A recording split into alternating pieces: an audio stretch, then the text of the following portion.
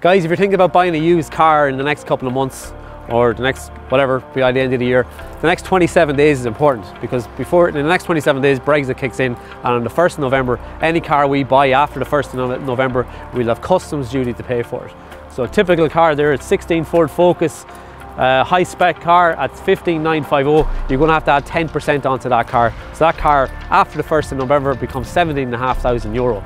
Now is the time to buy. You have 27 days left from today. We have english cars in our forecourt. They're all high spec. A lot of them low mileage, all good colours. Nissan Qashqai's in stock, our best selling car. One, uh, an 18 Qashqai, N-Connecta with full spec is 23950. After the 1st of November, that car is going to be a lot more expensive and they're not going to be got any cheaper. They will only be available in the UK because the Irish spec isn't as good. This is the cars we have in our forecourt today. There's 120 cars. Give us a call today because you'll never be a better time to buy a used car 071 915 442 and visit our website kevinegancars.ie.